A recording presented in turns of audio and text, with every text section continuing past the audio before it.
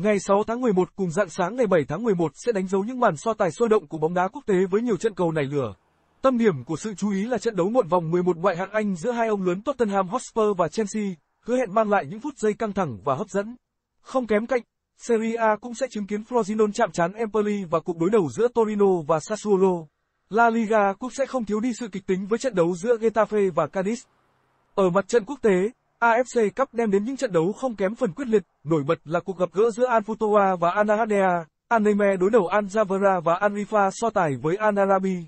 Trong khi đó, AFC Champions League sẽ là sân khấu cho những đội bóng như Al Al Zoia và Al Ittihad, cùng các trận đấu gay cấn khác trong ngày.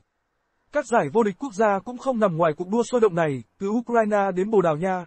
Các đội bóng sẽ nỗ lực không ngừng để giành lấy vị trí cao trong bảng xếp hạng. Policia Chitomir sẽ gặp Krivers trong khuôn khổ giải vô địch quốc gia Ukraine, còn tại Belarus, Dynamo Brest sẽ đối đầu với Dynamo Min.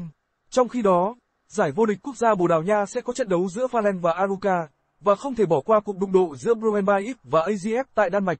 Bulgaria, Na Uy, Thụy Điển cũng sẽ có những trận cầu đáng chú ý, đặc biệt là cuộc so tài giữa AFK Gothenburg và AIK sẽ diễn ra vào 1 giờ 10 ngày 7 tháng 11. Đây chắc chắn là những ngày bận rộn đối với người hâm mộ bóng đá khắp nơi, khi họ đón chờ những trận đấu mãn nhãn và chứng kiến các đội bóng yêu thích thi đấu với tinh thần và kỹ thuật cao nhất.